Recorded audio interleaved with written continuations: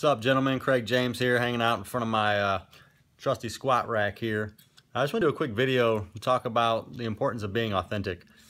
Um, one, of the, one of the most profound areas in life where a man's authenticity really gets put on display is in his ability to develop a group of men, a tribe, a masculine coalition that he can surround himself with, that he can help to um, encourage, support, and build those men up and also be encouraged and supported by them as well.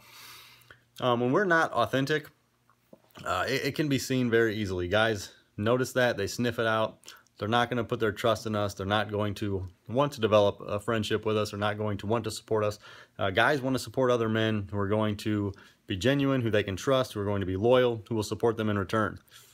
Uh, in addition to that, um, in the realm of business, uh, if you are trying to copy somebody else, you're trying to use someone else's business model, if you're trying to do something the way another does it, not only are others going to be able to sniff that out, not only are they going to not trust you, they're going to instinctively realize that uh, you're not somebody who they should be uh, giving their time to, absorbing your content, buying whatever it is you're producing. But it's also going to be a pretty insufferable situation for you as well. I mean, how uh, difficult is it to come up uh, with a business model on your own and then deal with the day in, day out grind and challenges and problems that come up? Uh, it's pretty tough. But think about that, having to having to deal with those things when copying somebody else's business business model. It's not even your own. And so you're just you, you don't have that ingenuity that you're putting into it. You don't have that passion, that blood, that, that intellectual uh, stress and strain and effort that you're putting into it. Um, it's just uh, not as not as valuable to you. It doesn't carry as much weight in your mind. You're not as invested into it. It's not your baby.